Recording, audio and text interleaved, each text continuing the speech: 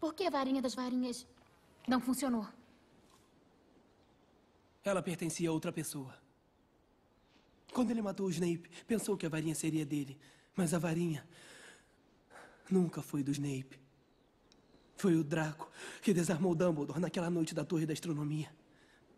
E a partir daí, a varinha respondia a ele.